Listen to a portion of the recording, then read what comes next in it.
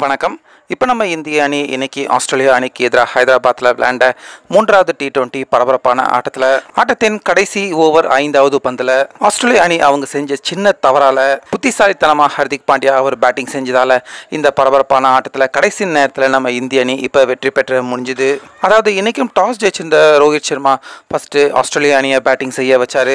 இதில் ஆரம்பத்தில் இருந்தே சாதாரண அடியில் மரண அடி பேட்டிங்கை வெளிப்படுத்தின ஆஸ்திரேலியா அணி இருபது ஓவருக்கு நூற்றி எண்பத்தி ஆறு அப்படிங்கிற மிகப்பெரிய ஸ்கோரை எட்டியிருந்தாங்க. இப்படி இருக்க இந்த கடினமான டார்கெட்டை சேசிங் செய்ய வந்த நம்ம இந்திய அணி வழக்கம் போலவே கே எல் ராகுல் மோசமான ஓப்பனிங் கொடுத்து ஒரு ரன்களுக்கே அவுட் ஆனார்.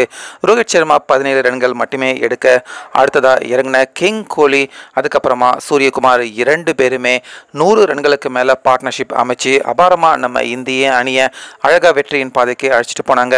இதில் முக்கியமாக சூரியகுமார் அறுபத்தி ஒன்பது ரன்கள் எடுக்க அடுத்ததாக ஆட்டத்தின் கடைசி வரைக்கும் பேட்டிங் செய்த கோலி அறுபத்தி மூன்று ரன்கள் எடுத்து ஆட்டம் இழந்தார்.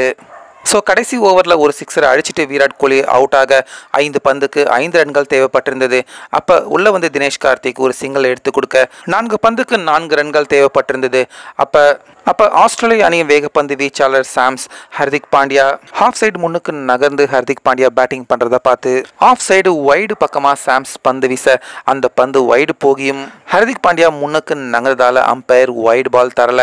இப்படி இருக்க அதுக்கு அடுத்த பந்து இரண்டு பந்துக்கு நான்கு ரன்கள் தேவைப்பட்டிருந்தது. அப்போ மீண்டும் அதே மாதிரியான பந்து சாம்ஸ் வீச ஹர்திக் பாண்டியா லாபகரமா அந்த பந்தை தட்டிவிட அது எட்ஜிப்பட்டு பவுண்டரி போய் கடைசி நேரத்தில் மிகப்பெரிய டென்ஷன் இதய துடிப்புகள் படபடக்க நம்ம இந்திய அணி ஒரு வழியா இந்த ஆட்டத்தில் வெற்றி பெற்று இப்போ மூன்று ஆட்டங்கள் கொண்ட இந்த சீரீஸில் கப்பை ஜெயிச்சிருக்காங்க. ஸோ கடைசி நேரத்தில் சாம்ஸ் அவர் செஞ்ச தப்பே பார்த்தீங்கன்னா இந்த ஆட்டத்தில் நம்ம இந்திய அணிக்கு இப்போ வெற்றியை வாங்கி கொடுத்துருக்கு. ஸோ ஆஸ்திரேலியா அணியை வீழ்த்தி நம்ம இந்திய அணி ட்ரோஃபி ஜெயிச்சதை பற்றி உங்கள் கருத்தை கமெண்ட்டில் சொல்லுங்கள் மீண்டும் அடுத்த வீடியோவில் சந்திக்கலாம்.